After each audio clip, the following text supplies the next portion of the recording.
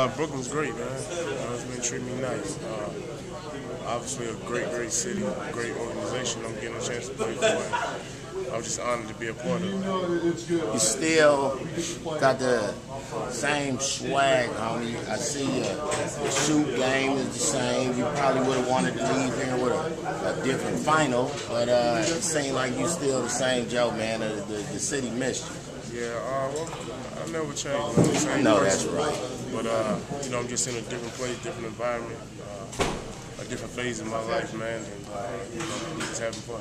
How weird was it coming back here, visitors locker room, first time in seven years? Uh, it, was, it was a little weird, considering the fact this was, uh, you know, my home for seven years. And, you know, now coming back as the opponent, uh, was weird, but it was fun at the same time. I enjoyed it. Obviously, not the outcome that I was looking for, but, you know, it was, it was great to be back. I mean, you guys came in here, you guys were rolling hot. What, what happened tonight? Was it just coming off the back to back? Man, you can't blame it on the back to back. We just didn't come to play. We just didn't come to play tonight, man. They were better team.